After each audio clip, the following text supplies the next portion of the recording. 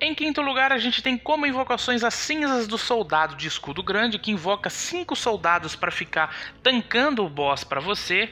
É uma excelente cinza de guerra, eu gosto muito de usar ela, além dela ficar travando o chefe parado, porque ela meio que forma uma, um muro de escudos em volta dele, fazendo o chefe ficar parado para você poder atacar, deixando muito fácil várias batalhas dentro do game. Em quarto lugar, eu gosto muito da cinza de Carmã, o perfumista caído. Essa de longe é a cinza mais tanque que eu já vi no jogo. Além dela ser tanque, ela se cura dentro do jogo. É a única cinza, agora depois da atualização que teve, que o Mimic não se cura mais, é a única cinza que ela se cura. Vocês podem ver aí, ela tá com metade do HP e vocês vão ver aí que ela se curou a partir desse ponto aí e voltou até a vida máxima e continua tancando. Além dela dar envenenamento, ela solta fogo, enfim, uma excelente cinza. Agora a gente tem aqui a marionete do comedor de estrume, né, que para mim é uma das melhores, eu gosto muito dessa cinza.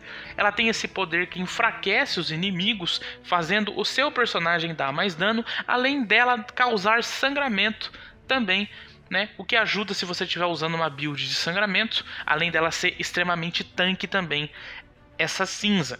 Ela é um pouco complicada de pegar, mas vale o esforço, pra caramba. Em segundo lugar, a gente tem a cinza lágrima imitadora clássica do jogo, que ela imita todos os seus equipamentos dentro do game, se tornando a cinza mais versátil. Você pode montar uma build, fazer uma, uma cinza personalizada, vamos dizer assim, e você pode montar. Ela funciona melhor com builds tanque, builds melee, builds de longa distância. Eu não acho tão interessante porque ela leva muito dano. Se você leva muito dano, ela vai levar muito dano. Se você leva pouco dano, ela vai levar pouco dano porque ela copia tudo que você tem. Em primeiro lugar, para mim, disparado, Tishi Faca Negra é com certeza a melhor cinza do jogo, porque ela tem ela tem uma defesa interessante, mas o que mais chama atenção nela com certeza é o ataque especial dela de ficar dando esse dano no inimigo, que dura muito tempo, por sinal, e também dela desviar muito dos ataques do boss, então se tornando a cinza que mais dura em campo de batalha.